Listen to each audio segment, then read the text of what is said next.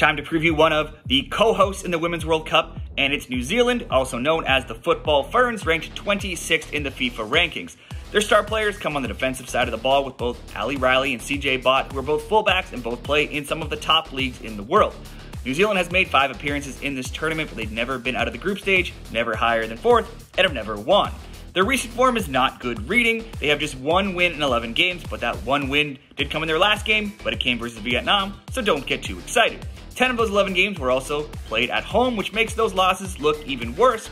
However, two were to the US and they were heavy defeats, 5-0 and 4-0. They were also they also only have 3 wins in their past 20 and 4 in their past 36, but they did defeat the Philippines 2 to 1 in 2022, so that will instill some confidence in this group. Their group odds are 5 to 1 and their tournament odds are tied for 17th at 250 to 1.